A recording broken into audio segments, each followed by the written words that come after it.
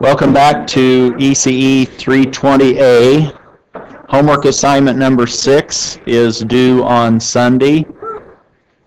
And you actually will have some more material versus just the classroom for convolution or unit seven. So you'll want to look at those notes and videos we have, or I'm supplementing what we're going to be able to do in class with a few more pieces of material. It's essentially how do you do the mechanics of convolution.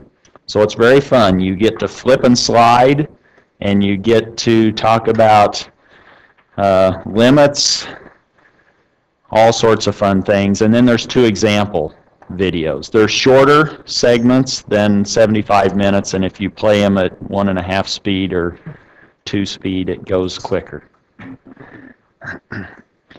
That's our announcements. Today what I want to do is finish up our coverage of incorporating initial conditions into the S-domain circuits. Essentially, how do we either do that with series voltage sources or with parallel current sources and why might we want to do that. Then we will get into transfer functions as a topic and we're doing that because these transfer functions are very versatile.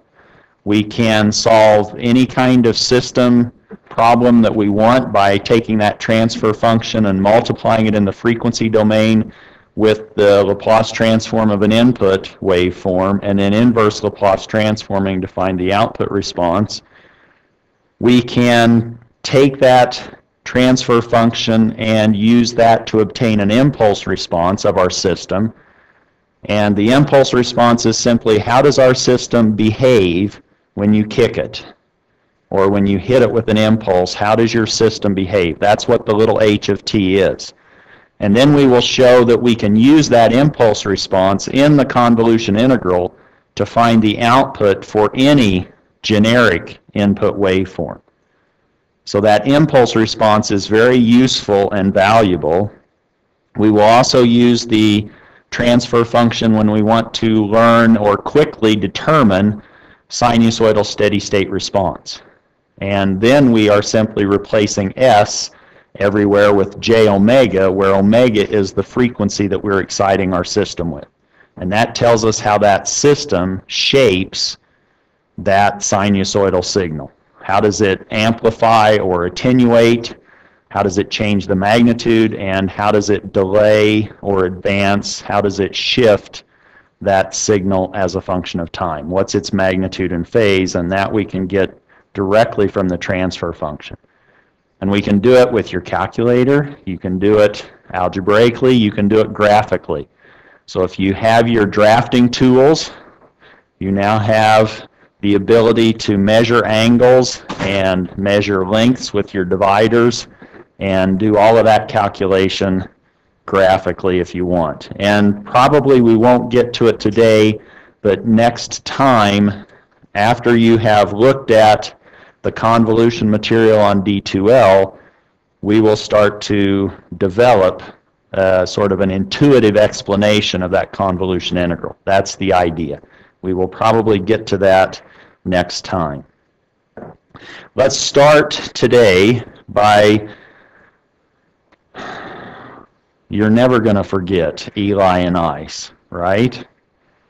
And you know what that provides you. If you have Eli and Ice, that's going to allow you to immediately write down the time domain expression relationship between current and voltage for the inductor and the capacitor. Let's look at the inductor first for how do we now, if we see an inductor in our circuit, can we immediately sketch an S-domain equivalent circuit with an inductor and the appropriate initial condition source term or a source term that is there because of the initial conditions. Here is our schematic that we are playing with.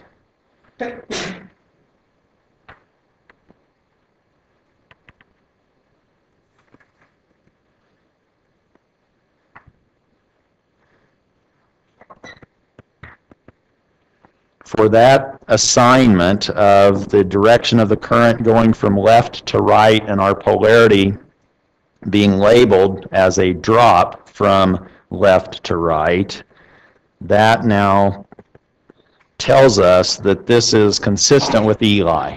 V is equal to L di sub L dt. and if we want, which we do today, and probably you will want to do for this chapter, chapter 13, we want to now take that into the frequency domain, and we do that by Laplace transforming that differential equation to immediately end up with the Laplace transform of the inductor's voltage is equal to L times S, the Laplace transform of the current through that inductor minus I sub L of 0 minus. And if we distribute that inductance across both terms,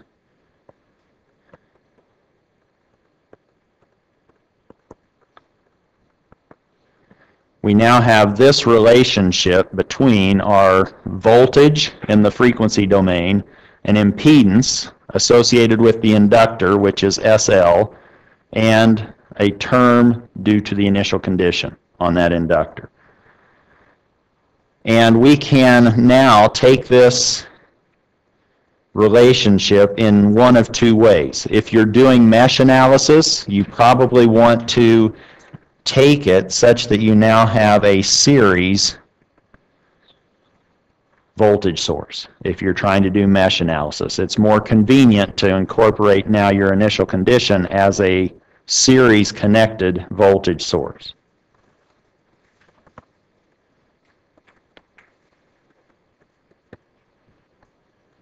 Which, if we now sketch our circuit, Our current is now I sub L of S. Here is our impedance, SL. And now we have the polarity on our source, which has a magnitude of I L sub I of 0 minus, and that's supposed to be giving us that total inductor voltage, capital V sub L of S.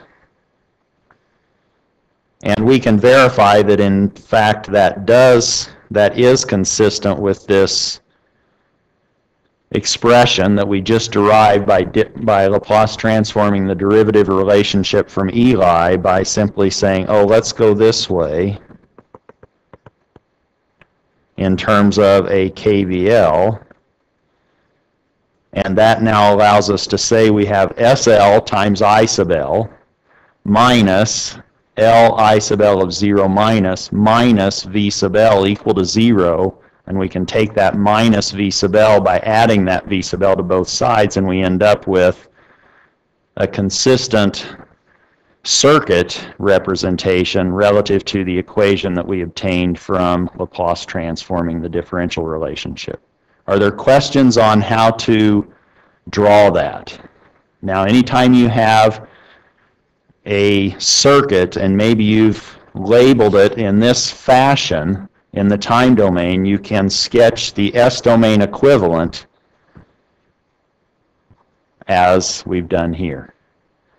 Now, if you were doing node voltage analysis in your circuit problem, then you might want to not put a voltage source in series, but you might want to put a current source in parallel.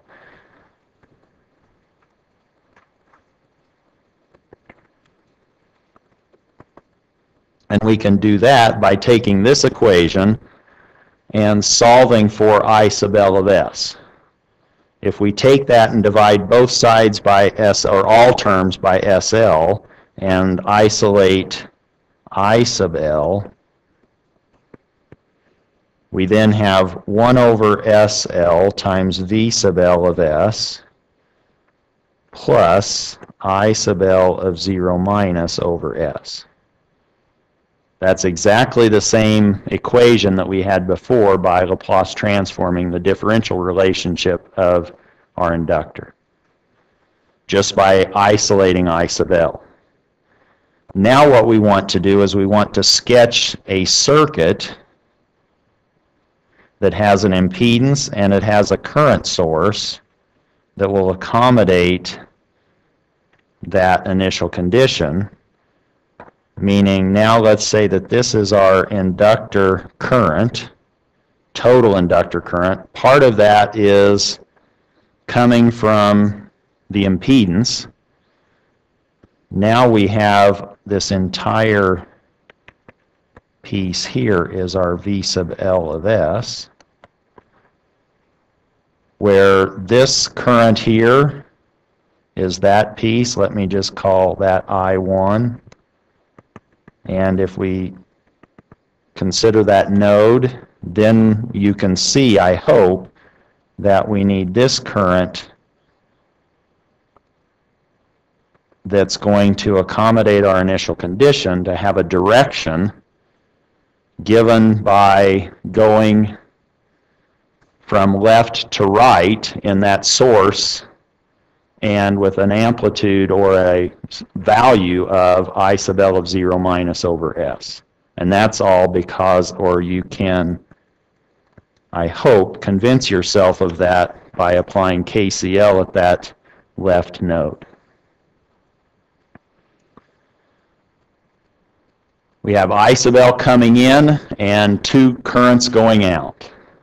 And those two currents going out, one piece is due to the impedance, the other piece is due to the initial condition, which is now our current source in parallel with that impedance. And you can now put this into your circuit in the appropriate way if you're writing node volt or Kirchhoff current laws or node voltage analysis when you're doing your circuit design.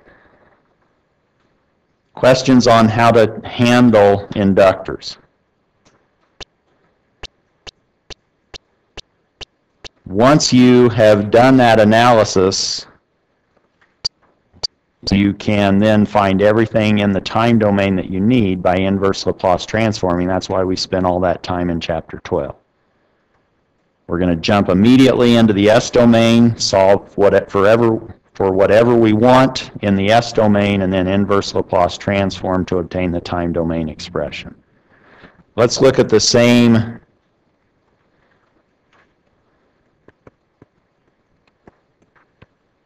development for the capacitor. And it will lead to slightly different results, but here is our capacitor voltage and our capacitor current. And if we're going to do the same development, then we need to give ICE the same level of credit that we gave Eli. So there's our ICE that reminds us then that in the time domain, we have I sub c of t is equal to c dv sub c dt.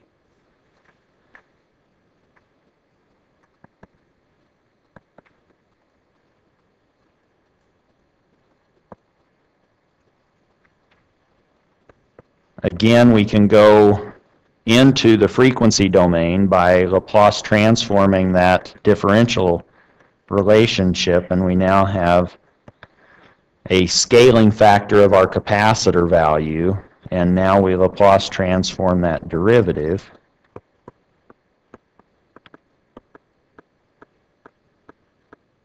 And if we want to know or create an expression for the current, we now have SC times V sub C of S minus C V sub C of 0 minus. Or if we want to view that as an impedance, we may want to put it underneath V sub C so that it looks like V over Z to get a, give us a current. We can say, well, that's equivalent to 1 over SC minus C V sub C of 0 minus. And that's our I sub C of S. There now we've isolated a, very explicitly what the impedance is of our, of our capacitor. That's 1 over SC, in contrast to the impedance of the inductor. This expression is now begging us to look at what happens or putting this into a parallel S-domain circuit.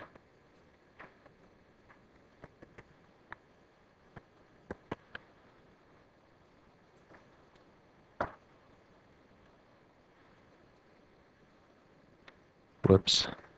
Where we now have the current again made up of two parts. Here is our voltage across that capacitor. We have the total capacitor current, I sub C, again made up of two pieces. One piece due to the impedance of the capacitor, and the other piece due to the initial condition, and now which direction does that source need to be oriented? Does the arrowhead need to be on the left or the right to be consistent with this expression? Now it needs to be going opposite to, let's say, this current, let's say we're again calling this I1. I1 goes from, from left to right, but the other one is going in the opposite direction. It's now going back, and it has a value of C, V sub C of 0 minus.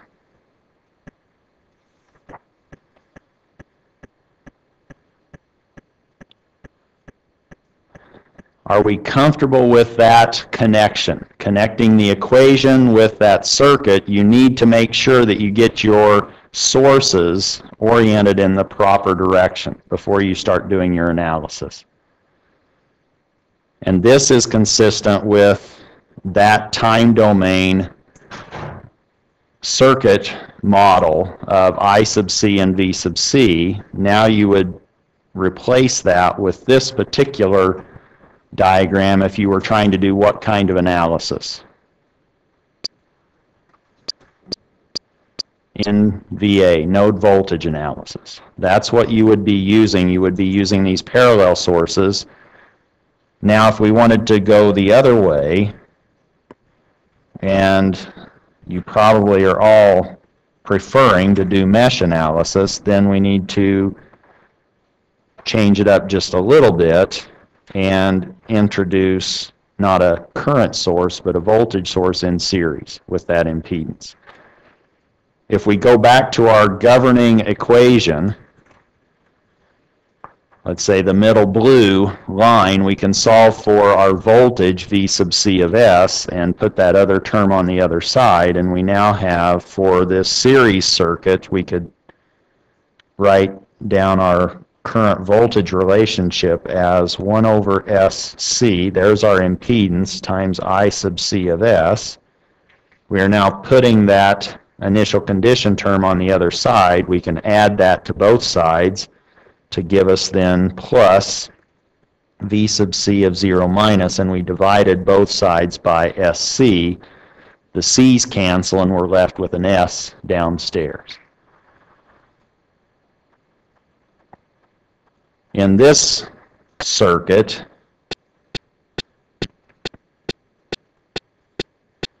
we now have our current, I sub C of S. We have our total voltage that is made up of two pieces, an initial condition piece and an impedance piece. And now which way do we write the polarity? inside this voltage source that has a value of V sub C of 0 minus over S. So now if we read from left to right, this would be plus and minus, and you can convince yourself of that.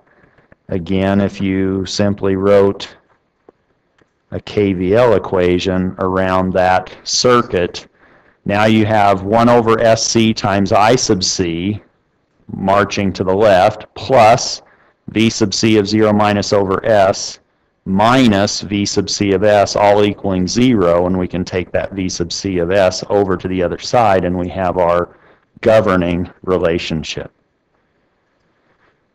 Not only do you have to worry about the polarity and the direction of these initial conditions, but do you see that they're not the same structurally as far as the expression for those initial conditions?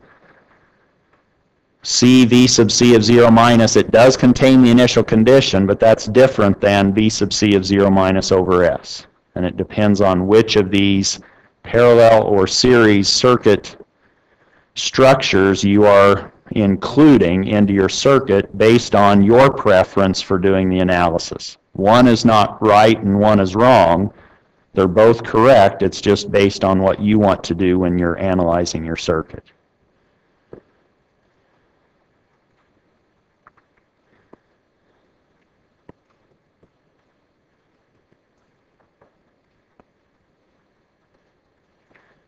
Which circuit model is used?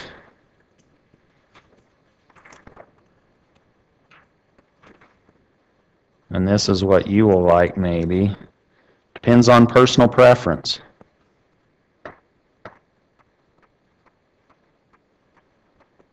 And maybe the particular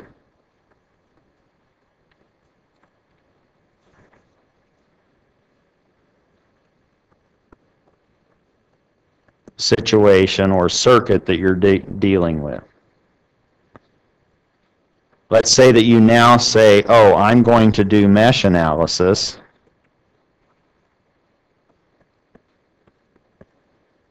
Then what kind of structure are you going to be looking to introduce from the time domain into your S domain equivalent? That's going to be your series for both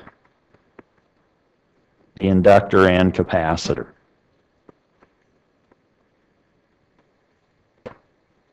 if you were doing node analysis, then you're doing your parallel current.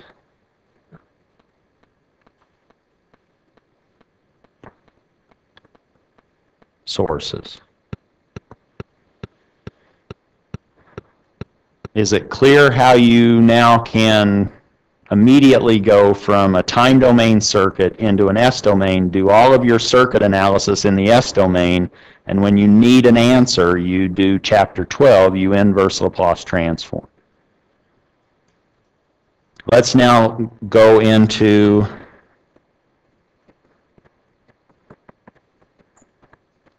a discussion of the transfer function.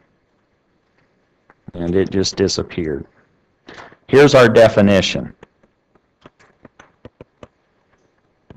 Typically, we will use capital H of S for this transfer function expression. It's going to be a ratio of polynomials in S.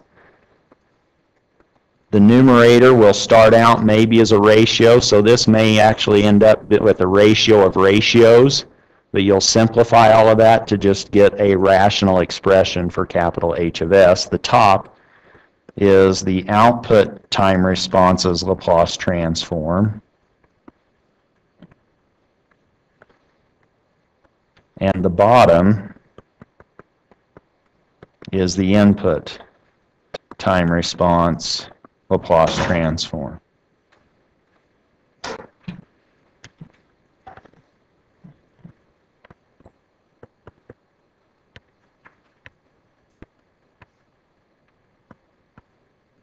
Where that capital H of S is our transfer function.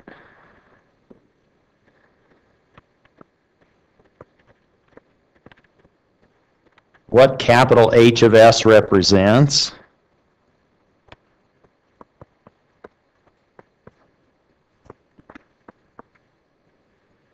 depends on the input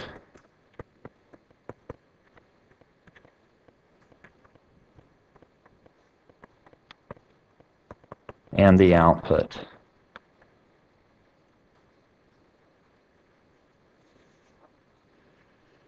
Where now with this concept of a transfer function, we can represent a lot of different systems by this very basic block diagram. Here is our system, H of S, and that might be a car suspension, it might be a home's ventilation system, it might be a filter, it might be a circuit. Here is our capital X of S, that's our input, and our output is capital Y of S. And you could have one system, let's say that it's a circuit, you could identify a lot of different transfer functions just for that one circuit. That one circuit or system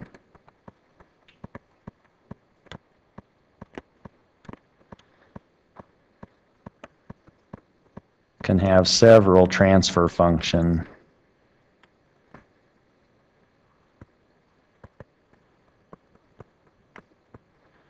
transfer functions associated with it.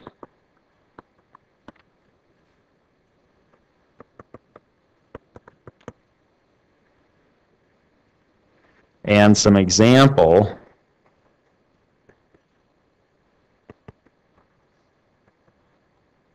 input and output functions.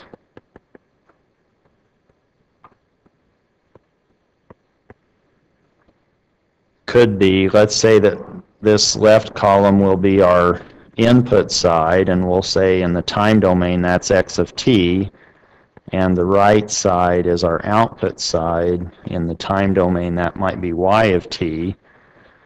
For inputs, we might have current, we might have voltage. We might have force. We might have velocity. We might have angle. We might have position. All of those are potential inputs. For outputs, we could have similar variables. We could have a current, as our output. We could have a voltage as an output. We might have a force. We might have an acceleration.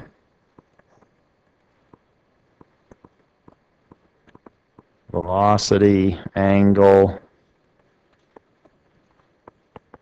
position, and now you could actually, you don't have to read straight across. You might have for an input a current, and maybe the output is acceleration. You might have a force, and that might then be associated with some voltage as your output. Or maybe it's a velocity, and you now have a current that that's corresponding to. You can have all sorts of different combinations of inputs and outputs to produce a transfer function. In this class, we will probably focus on these top two rows. We'll have currents or voltages as our inputs and currents and voltages are, as our outputs, but this concept generalizes to many different domains or many different problems. Let's now look at an example.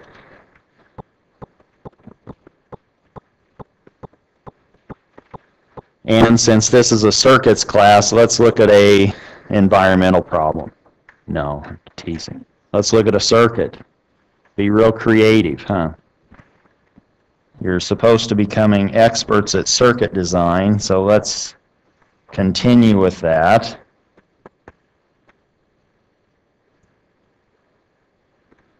We have an RLC circuit a voltage source, and now maybe we want to identify a current, which is common to all of those elements in that circuit, or we might be interested in the voltage dropped across any of those elements. Let's just consider the capacitor's voltage drop in this example. Now, I want to, I'm now interested in transfer functions, which means that I'm looking for ratios of polynomials of S, which is sort of begging me to say, I need to redraw that in the S domain. I need to do my analysis in the frequency domain. If I do that, what does the S domain circuit look like? Structurally, does it look a lot different how it's interconnected? And what we will conclude with after we go through this is when we're doing transfer functions, we're assuming zero initial conditions. So now we don't have to worry about those sources. We can simply say, oh, I have a resistor, I have an inductor, and I have a capacitor. This was now capital V sub G of S. My resistor's impedance is just R. What's the impedance of my inductor? That's just SL. And what's the impedance of my capacitor? And this might be my one of my choices for an output, and this might be another choice for an output. That's now my S-domain equivalent circuit. Now let's say that I'm interested in a transfer function between the source voltage and the current through that circuit. Can you find an equation that relates the current and the voltage source?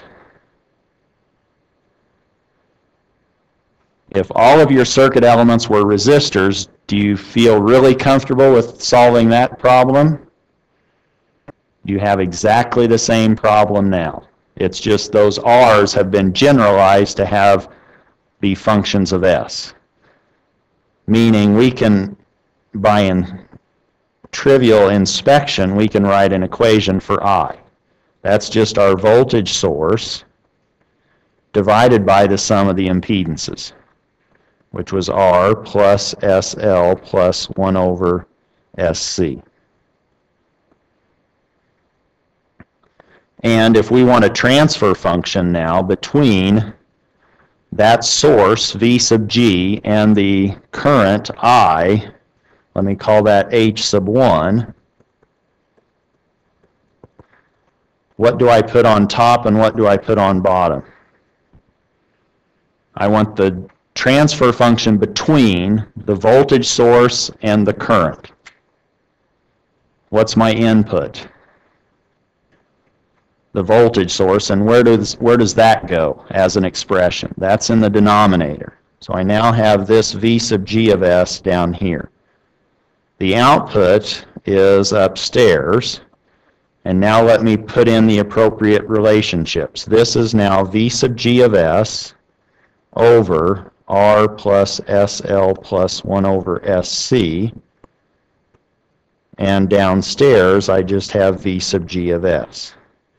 These transfer functions, if you end up with a source buried in there, you've done something wrong.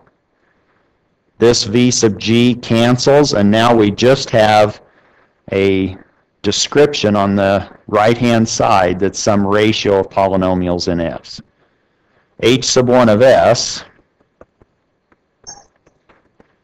is now 1 over r plus sl plus 1 over sc. That's not quite as clean maybe as we want it to be. Why don't we get a common denominator in the denominator, and then that denominator in the denominator jumps upstairs by multiplying by 1 so that we now have SC over S squared LC plus SRC plus 1. And that's now one transfer function associated with that circuit. Or you could get that same thing by multiplying both top and bottom by SC, or multiplying the whole thing by 1. And then you get the SC upstairs, and the SC starts canceling the one term on the far right, and it just introduces an SC into those left two terms in the denominator. What's the order of that system's transfer function? It's a second order, and is that consistent with what you would have expected from that circuit? had two energy storage devices, you have a second order transfer function, okay, good. I'm consistent, at least. Depending on what your values for R, L, and C are, will influence where is your zero located. Do you have any finite zeros in this transfer function? It's right at the origin, isn't it? It's at zero. And your poles, where do you think they live? In the left half plane, why do you think that? Because you had a passive circuit and you had resistors in there and the resistors are extracting energy from your circuit, it shouldn't be unstable. You better have poles in the left half plane. If you had just L's and C's, then you would have poles on the imaginary axis. Now that you have resistors in there, that slides you over into the left half plane. If you plug those numbers into the quadratic formula, you better get negative real parts for your roots, is what we're saying. You better end up with S values in the left half plane. Let's look at a second transfer function for that circuit. Suppose now we want the transfer function between the source voltage, V sub G, and the capacitor's voltage, V V sub C. Now we want V sub C of S, the output, over V sub G of S. But there's no need to sort of reinvent the wheel because we already know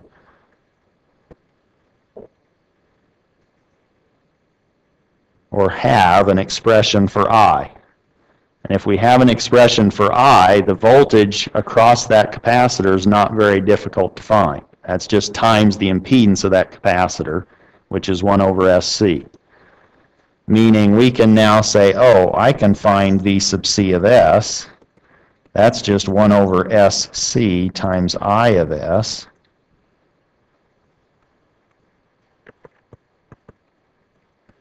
and I of S was V sub G of S over R plus SL plus 1 over SC. Let me distribute that SC into the denominator expression, and that will cancel the SC in the bottom of one of those pieces, and I now end up with V sub G of S over S squared LC plus SRC plus 1.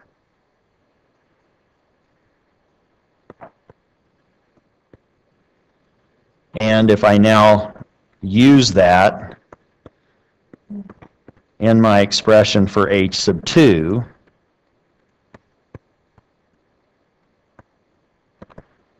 I think it's clear that the V sub g's cancel and I end up with 1 over S squared LC plus SRC plus 1.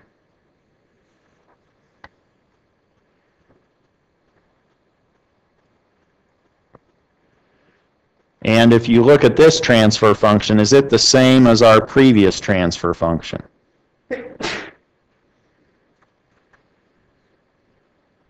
Not quite. But what can we notice in terms of something similar?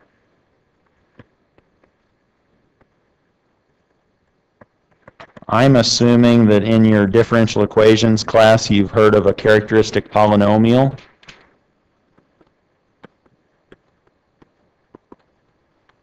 Or did you think you could forget that? That's equal to the denominator polynomial in these transfer functions. The denominator was the same.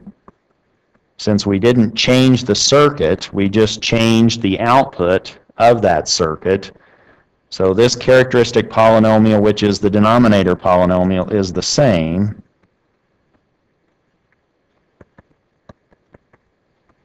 in h sub 1 of s and h sub 2 of s. Where was our 0 in h sub 2 of s?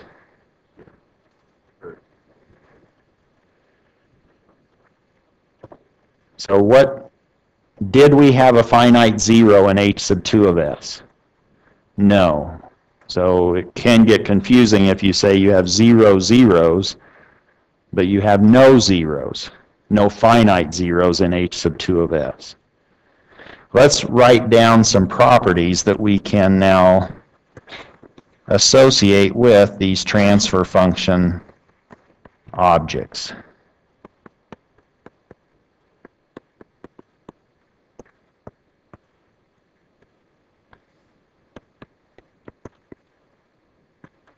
One is that we have linear, or if we have linear lumped parameter circuits,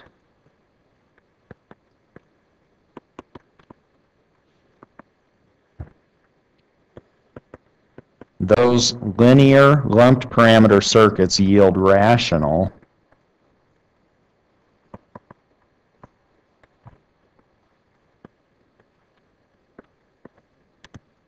transfer functions.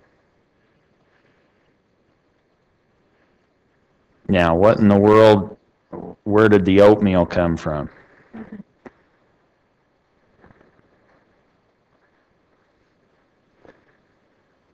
What have you heard of lumped parameter other than lumped in oatmeal? Did everyone have their oatmeal this morning? Do You still full from your oatmeal breakfast? It sticks with you, doesn't it? A little bit more than some things for breakfast. Your energy drink? Maybe, maybe not. Lumped parameter. What does that mean? So now a lumped parameter is what you might have in 351C or in 220 or in this class. You have physical or discrete components of resistors, inductors, and capacitors versus a transmission line where the resistance is actually distributed across the entire line. You can't, or you don't typically model that entire transmission line that might be kil kilometers long with one resistor value. You distribute that resistance across the entire line. It, you're not lumping it into a single resistor. And it all depends on the frequencies that you're interested in and the wavelength of that those signals that you're applying to the circuit. If your wavelength is about the same or comparable in size to the dimension of your circuit, then you have to worry about distributed parameter circuits or non-lumped parameters. Here we have, for lumped parameters, we have discrete components, which is what we have in this class.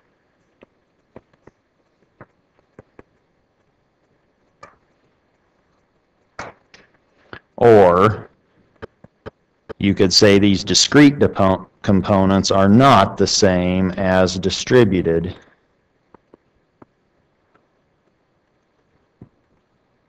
components. Here you're thinking transmission lines. And here you're thinking discrete circuit elements R, L, and C. So we have these traditional linear lumped parameter circuits. We're not pushing these to the extreme where your resistors or your inductors or capacitors have nonlinear relationships. We're only worrying about their linear behavior that's producing these transfer functions. With rational expressions. That just means you have S polynomials upstairs and S polynomials downstairs. You have a ratio of polynomials in S. That's the rational transfer functions. Here's what you probably like is that when you're computing or finding transfer functions, you don't have to worry about initial conditions because we're just trying to find the system behavior, not worrying about the initial condition. So these transfer functions are obtained or found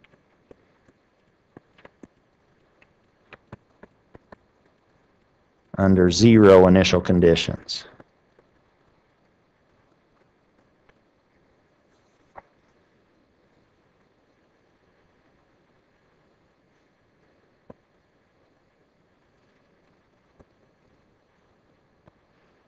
The poles of our transfer function, and you know what those, or how to find those, correct?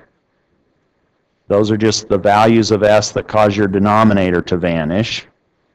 The poles of h of s govern the natural response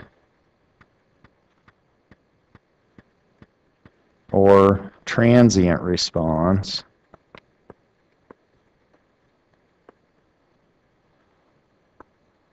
of the system. The natural response is if you excite your system or kick it, it will just start to shake. And it shakes based on the poles of your transfer function. If I gave you a transfer function, or maybe I said, oh, this transfer function has poles at minus 1 and minus 6.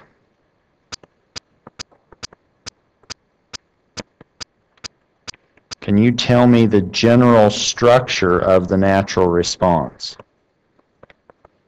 Or if you now kick this system, how is it going to shake or move? What will be the modes, what will be the behaviors of this output y of t. Or if you energized all of your energy storage elements and then said, okay, go, how is it going to respond?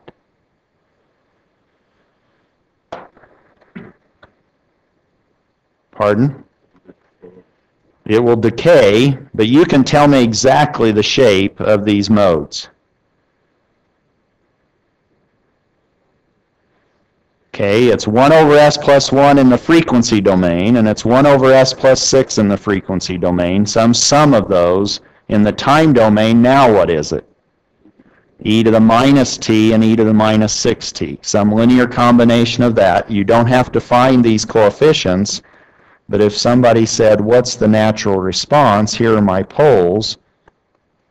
You know that it's going to move at e to the minus t and e to the minus 6t. When will you have to be focused on watching that response? When will it be done? If you close your eyes, how long will you have to have your eyes closed before you'll miss everything? What is infinity in this system?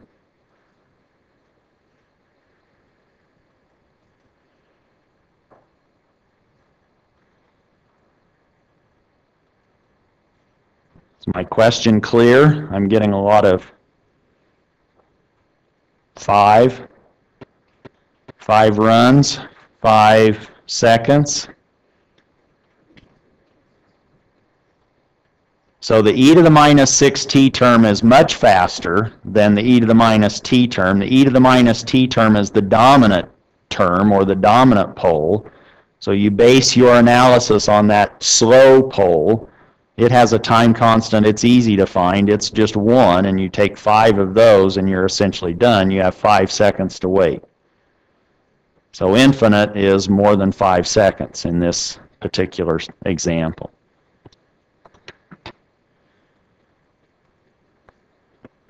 Another property of transfer functions, which we've already really talked about, is that the denominator polynomial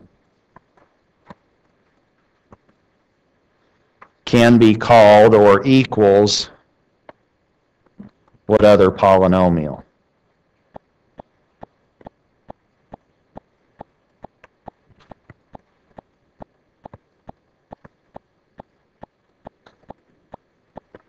That equals the characteristic polynomial.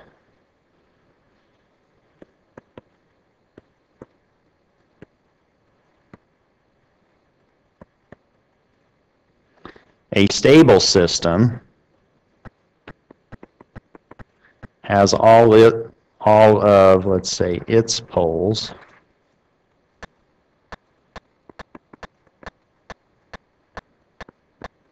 where do all of its poles live in the complex plane? In the left half plane because what's special about the left half plane? It'll decay, and why is it decaying? It has negative real parts, doesn't it?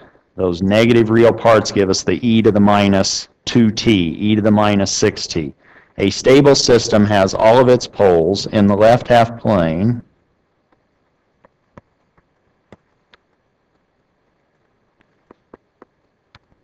or LHP. If you're tweeting, and somebody I think said something about that on their exam. They said if we're tweeting, then they put some acronym there. I said, good, let me tweet that out right now, or text that. What do we know about passive RLC networks relative to stability and transfer functions? If I give you a passive RLC circuit, maybe 100 Rs, 50 Ls, and 60 Cs, what can you at least tell me about that transfer function?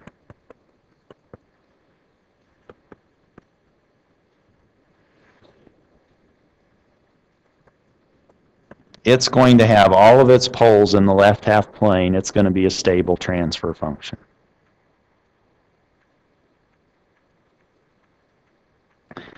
We've talked about poles. We have to give equal billing to the zeros the zeros of h of s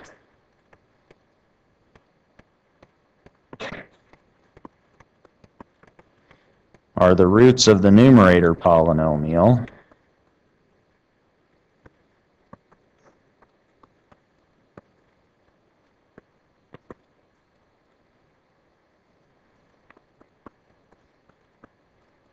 Of h of s.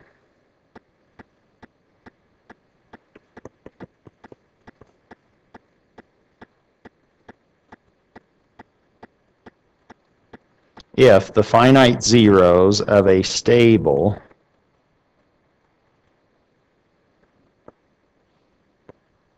h of s are in the left half plane. So the stable h of s says our poles are in the left half plane. Now we're saying the finite zeros are in the left half plane. We actually give that system a special name the system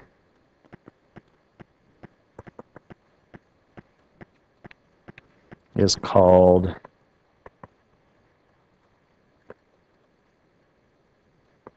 minimum phase.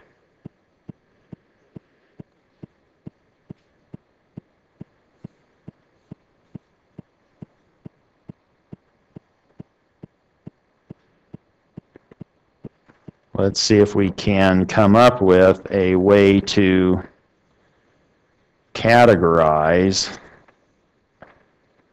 or have a feel for what we mean by a minimum phase system. Suppose that I have a system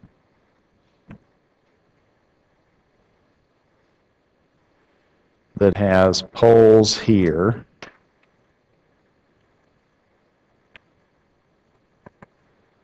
and maybe I have a zero right there. Is that system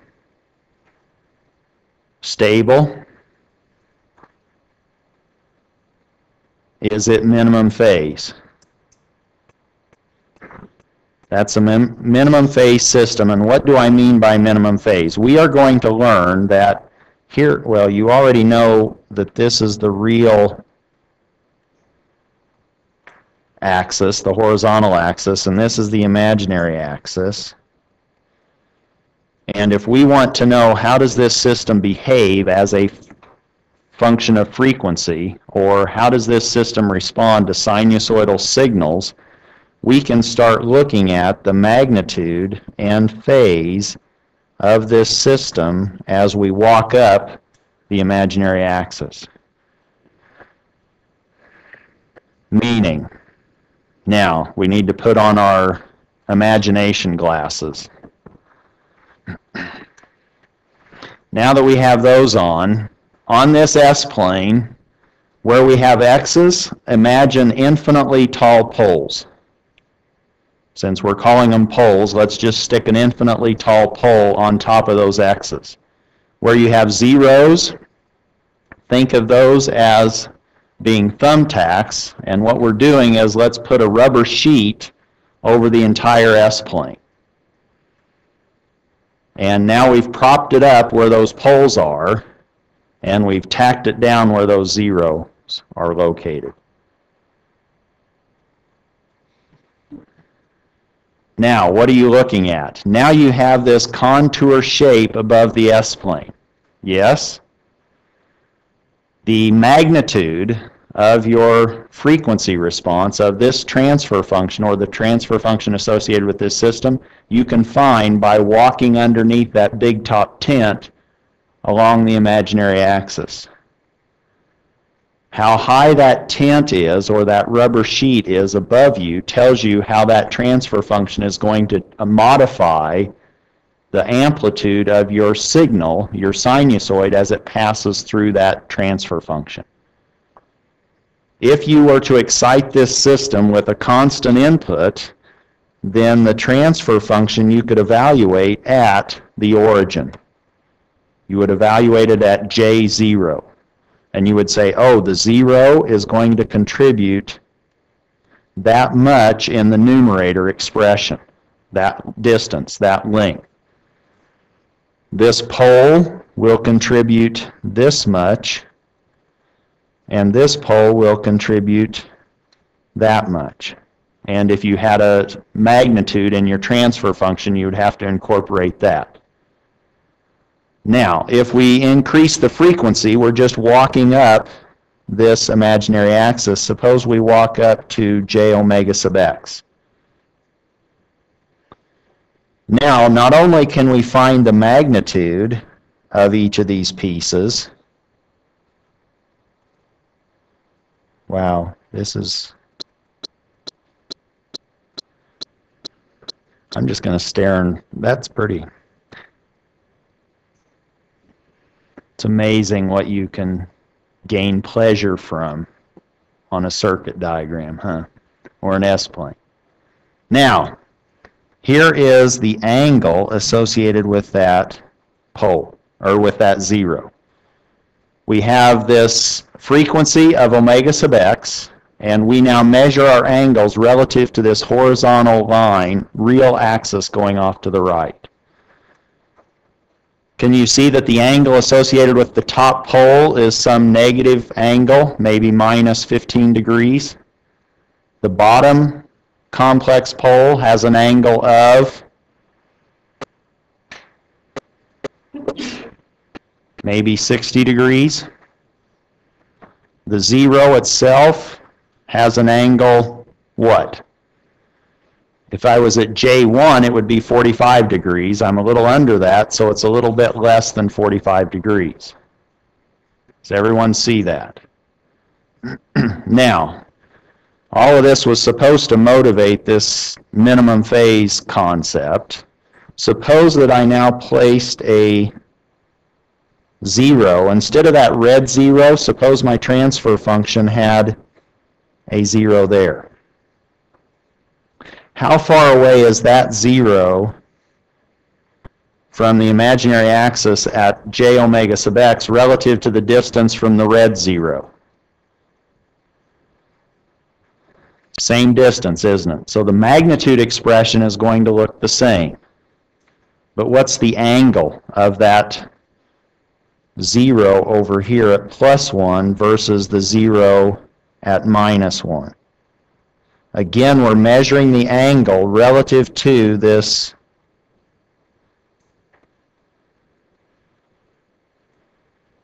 horizontal real axis. Do you see that theta sub n is much bigger than theta? Theta is the minimum phase angle for that magnitude characteristic that you have for that transfer function. If you had a zero in the right half plane to produce exactly the same magnitude characteristic, it would not give you the same phase behavior. It would be a non-minimum phase behavior. And that's why these bicycles are partly difficult to maneuver. Not only are they unstable, but they have a right half plane zero. So they behave differently than systems that have minimum phase behavior or zeros in the left half plane. How would we find some of that information? Suppose that I now want to write down the transfer function of my first system that I had identified with the red 0. I would have now an s plus 1, and what would my denominator look like?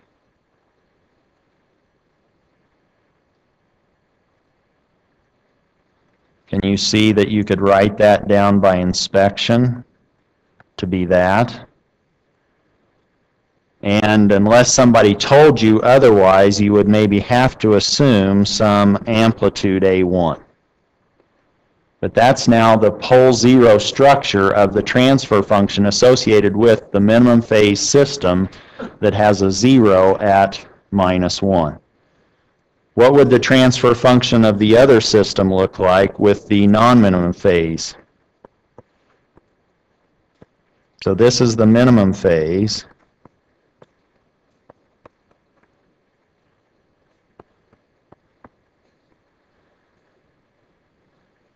Now we have an A sub 1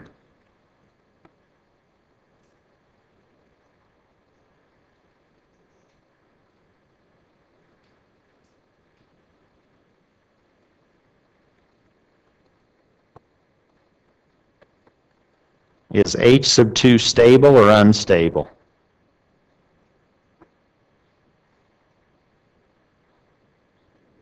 Stable. The poles are exactly where they were before, and the first one was stable. It's just now we have a zero in the right half plane.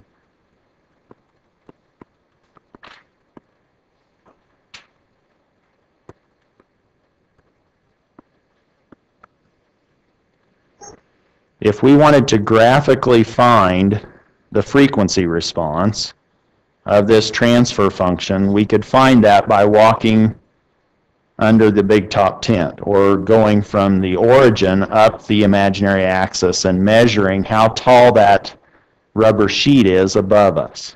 That's the magnitude response of our system. Or if you have a stereo, that's your graphic equalizer right? You adjust that for if you wanted more bass, you can slide that slider up at low frequencies. If you wanted to attenuate the bass, you would lower that.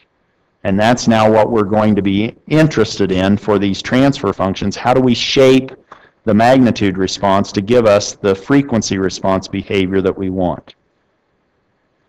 And if we said apply a signal, let's say of frequency 2 radians per second, we could now graphically determine that magnitude response and the phase shift that that system produces by looking at these lengths or distances to 2 on the imaginary axis and the angles of those particular coordinates. So that the frequency response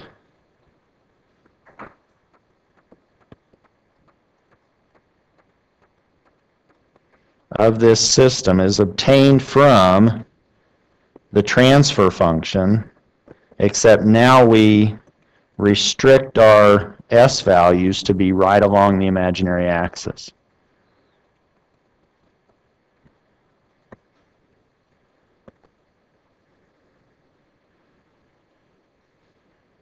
And now maybe it's easier to think about these poles. Let's say that this is now S plus 2 minus J1. This is S plus 2 plus J1.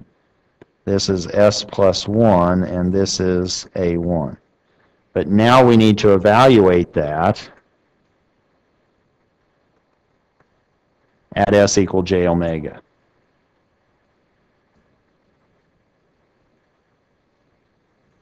Meaning the frequency response of this system is now A1 J omega plus 1 j omega plus 2 minus j1, j omega plus 2 plus j1. And we want to write that as a complex number. It already is a complex number. You plug in a particular omega, omega equal to 2, and you now have a complex number. And that's how this system would respond to an excitation of 2 radians per second. If it was 4 radians per second, then you would plug in omega equal to 4. But what do we also know? If this is a complex number, we can think of this as a magnitude and an angle. What's the magnitude of that numerator expression? Well, that's just 1 plus j omega magnitude. Yeah, that's a correct answer. You could say that, right? But that's just the square root of 1 squared plus omega squared. What's the angle of that? That's in rectangular form in the top expression. In polar form, it's the magnitude at an angle. What's the angle of that complex number?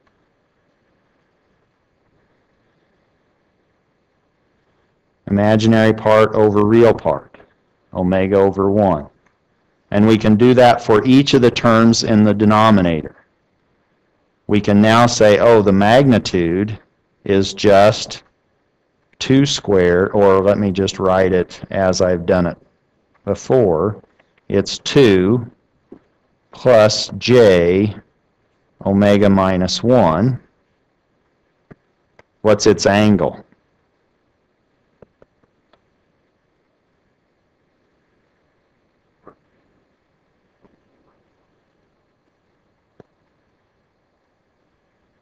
And then we have the other pole, the magnitude of 2 plus j omega plus 1 at an angle of the inverse tangent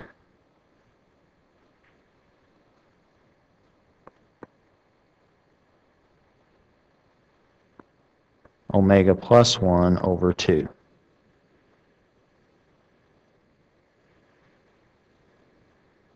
Suppose that we said we want omega equal to 2. The top one is now 1 plus j2. We need to find the magnitude of that. But that's just the square root of 1 squared plus omega, or 2 squared. If we go back to our diagram, if omega is equal to 2, then we go, we walk over 1 and up 2 and we find the hypotenuse of that right triangle, and that's the magnitude, that's the distance. If we had our dividers, we could put those dividers down and tell you exactly what that length is. That's the square root of 5. What's the angle?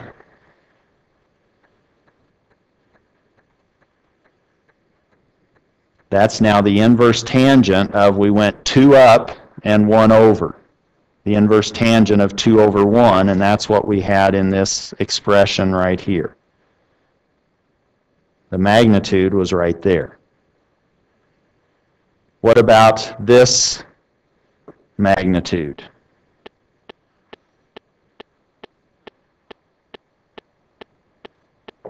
Where is it?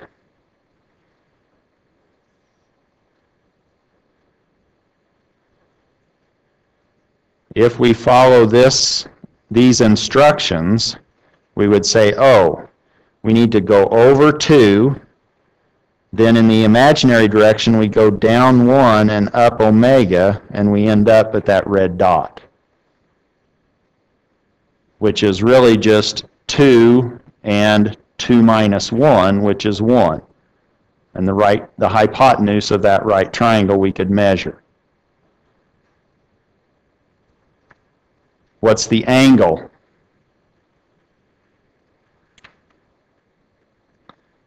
You measure it from this horizontal line, and it's the angle that has a vertical change of 1 and a horizontal distance of 2, which if you plugged in omega of 2, you have an inverse tangent of 1 over 2. And the bottom one, now we go over 2, we go up 1, and we go up omega. And we end up again at the red dot, but that's now the hypotenuse associated with a right triangle that has a horizontal length of 1 and a vertical distance of 3, square root of 10. Is this making any sense? Now I'm saying omega is 2, where that red dot is, just to give us something to tie down. But we could run that omega. Now on the weekend, you could say, oh, for grins, let me try omega from 0 to 1,000. Okay? And start plugging that into your calculator. Or you can what? Do one command in MATLAB, say Bode, and it will give you the frequency response of that transfer function. But you need to know, did I put that data into MATLAB correctly? And now you can intuitively start to reason your way through that question. You can say, let me check it at omega equal to 10 radians per second. Does that number that I'm seeing in MATLAB look consistent with what I'm seeing on my envelope that I've sketched this transfer function on as far as its pole zero diagram.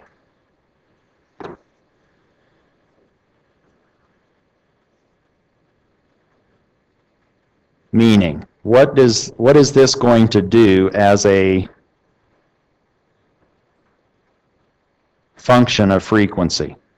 If you looked at this system, this transfer function, and you said, oh, what's its behavior at, or somebody might say, okay, here's a transfer function. Can you tell me, is it low pass in nature? Is it high pass in behavior? Is it band reject? Is it band pass? You have maybe four options what would you say this system would give you in terms of a characteristic?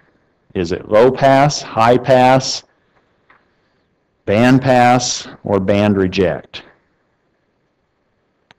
What's it going to do to DC signals? Can you answer that question?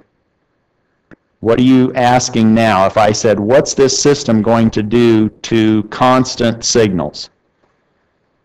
Does that say anything about S?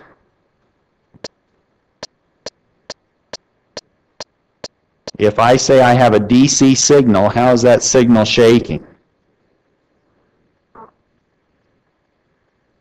Is it shaking if it's DC? No. S is 0. So you plug in S equal to 0, and what do you get? A valid number, right?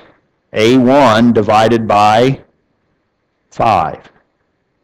There's your DC gain of that system. You put in 3, and 3 is going to be scaled by A1 over 5. What's going to happen at really high frequencies? Now you walk way up on that tent, way up the imaginary axis, and what happens to the lengths from those poles? To this point, how far away are those poles? Pretty far. And how many and how far away is that zero? Pretty far. But how many poles do you have relative to zeros? You have two poles, one zero. So you have two really fars divided into one really far. What's going to happen to that number? Do you see that it's getting small? It's going to die at high frequencies. So you had something that was of value at DC, and now it's rolling off at high frequencies. It prefers low pass or low frequencies. It's a low pass filter. in characteristic. We'll pick up with those ideas and convolution on Tuesday.